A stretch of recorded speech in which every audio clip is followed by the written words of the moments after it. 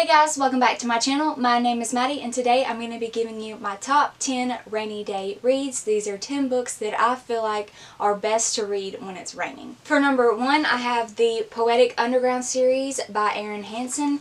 This is Reverie, Voyage, and the Poetic Underground 3. I love Erin's poetry so much. I wish more people have read her books or have just heard of her in general. So if you have not heard of the Poetic Underground series, I highly recommend checking it out. Next, I have The Sweetest Kind of Poison by Katie Wismer. Katie is also a booktuber over here on YouTube, so I wanted to support her by buying her book. This is a book of poetry following an abusive relationship that she was in and how she recovered from that and who she is today because of that relationship. I actually just read this today and I really loved it. So if you have not checked it out, I highly recommend it. Next, I have If He Had Been With Me by Laura Nowlin. This is one of my favorite YA sad contemporaries. This book is very emotional and there's all sorts of trigger warnings, but particularly depression and suicide. So definitely stay clear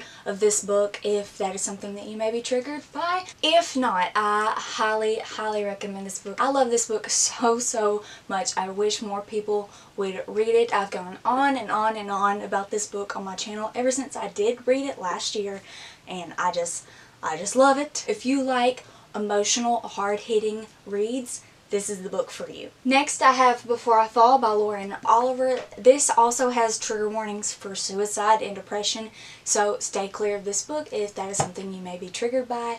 But I really, really enjoyed this book and I wasn't expecting to like it that much. This book follows a teenage girl who is in an accident and she has to relive the same day over and over again and she comes to realize that there must be something she's supposed to change. There must be a reason why she keeps coming back to relive the same day. I really like this one. If you haven't tried it, I at least recommend giving it a shot. Some people love it, some people hate it. I am one of the ones that actually really enjoyed this one. Next, I have The Woman in Cabin 10 by Ruth Ware. This is actually another recent read for me. I read it a couple weeks ago and I absolutely, completely unexpectedly loved this book. This is an adult thriller murder mystery novel and I do not really read that genre. I don't really read adult fiction in general, much less thrillers and murder mysteries, but I really, really loved this book. This is a story about a young journalist who goes on a work trip on like this yacht with a bunch of different people in her career field. And on the first night, she thinks that she witnesses a murder. She thinks that she witnessed a woman being thrown overboard. But then she contacts security. They go from person to person on the ship to see if she recognizes the woman that she thought she saw killed. No one even knows who she's talking about. There's no one missing. So she starts to wonder if she's going crazy or if she actually did witness this murder. This book was so freaking good. The mystery aspect of this book I felt like it was really, really well done. I really recommend this book if that is something that you'd be into. Next, I have The Girl on the Train by Paula Hawkins, and this is one that I actually didn't like that much, but I know a ton of other people really love this book, so I'm still leaving it on this list because I feel like some of you may enjoy this one as well. This is also an adult psychological thriller murder mystery novel. This woman rides the train to work every single morning and she is basically obsessed with this one family, this one couple that she sees on her train ride to work every morning. And then one day this wife goes missing and the main character thinks she may have witnessed what happened to this woman. However, she doesn't really remember because she is an alcoholic and she doesn't remember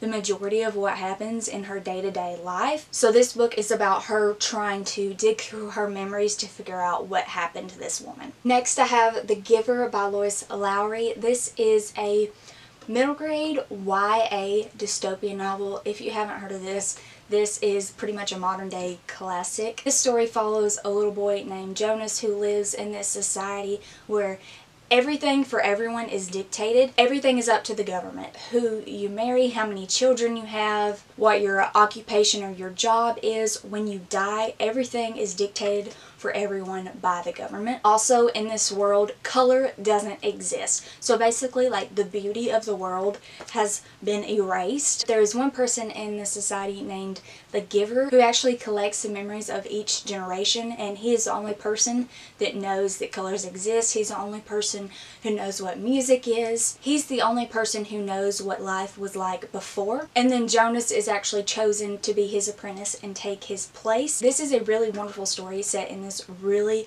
cool, deeply thought out world unlike anything of its time. If you haven't read this one, you definitely should check it out, at least for the sake of saying that you've read it. Next, I have Salt to the Sea by Ruta Sepetys. This is a YA historical fiction novel following the sinking of the Wilhelm Gustloff during World War II. This is a story about the ship sinking with a massive death toll that no one really talks about. It's not talked about in history classes, at least it's not taught in U.S. history classes. I had never heard of it until I read this book, so it was very enlightening for me, very educational. I really, really love this book. It is a tearjerker though. It's very sad, very emotional. If you like historical fiction or if you like books just in general centered around World War II, I definitely recommend this one. Next, if you're more of a nonfiction reader, I have The Devil in the White City by Erik Larson. This is a fictional twist on a nonfiction story. And this is about a famous American serial killer in the late 1800s. This tells the true events of